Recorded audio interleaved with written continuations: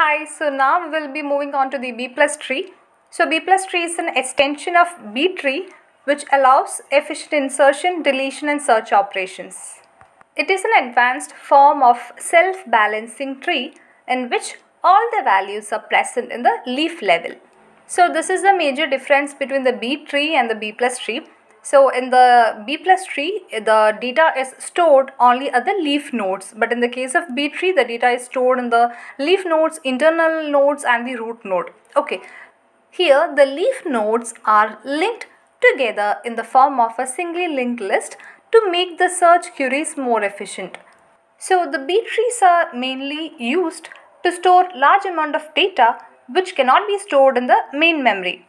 Due to the fact that the size of the main memory is always limited, the internal nodes that is the keys to access the records. Okay so mm, the internal nodes of the b plus tree are stored in the main memory whereas the leaf nodes are stored in the secondary memory.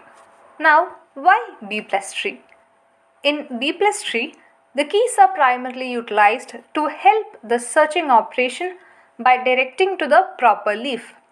And the numerous keys can be easily be placed on the page of memory because they do not have the data associated with the interior nodes. Therefore, it will quickly access the tree data that is on the leaf node. Okay. Now coming to the properties of B plus tree. So the properties are same as the B tree. So we'll see the first property. All the leaves are at the same level and the second property, the root has at least two children. Third property, each node except the root node can have maximum of m children and at least m by 2 children. So m is the order of the tree. Okay.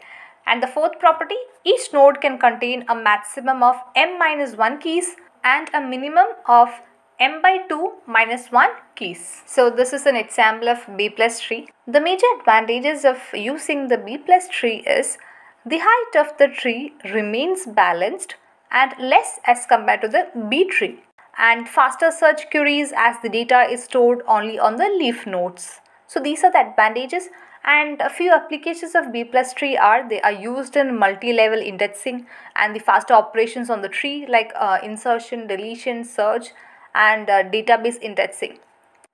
So the major difference between the B tree and the B plus tree are in a B tree, search keys and data are stored in the internal or the leaf nodes whereas in the B plus tree the data is stored only in the leaf nodes. Okay, so that is the first major point. And the second point, the leaves are not connected with each other on the B tree whereas they are connected on the B plus tree. Finally, the operations on the B plus tree are faster than on the B tree Searching operation on any data in the B plus tree is very easy because all the data is found on the leaf nodes.